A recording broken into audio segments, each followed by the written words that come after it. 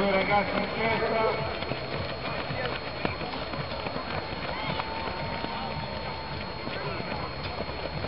Piccola frattura addirittura del gruppo, comunque ancora non significativa. I giri, ripeto, sono quattro, la gara ancora molto lunga. Ecco i primi due. Forza ragazzi, fate un applauso qui ragazzi, su, forza! Bravi! Bravi, forza, forza! Andiamo ragazzi!